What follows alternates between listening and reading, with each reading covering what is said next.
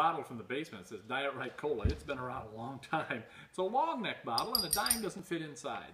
Little known fact that uh, uh, any of the pops, beers, whatever, uh, with long necks wouldn't allow a dime to be put inside the bottle. Just a kind of an odd fact, doesn't really do anybody much good. However, uh, it's a funny thing. If we were to take a uh, larger coin, say a quarter, and put it through the bottom, say solid through solid, would that be possible? I don't know, you tell me, take a look.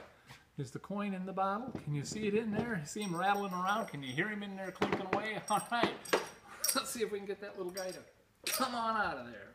And that one's called The Coin in the Bottle by Johnson Products, a wonderful trick for $12. You can't go wrong.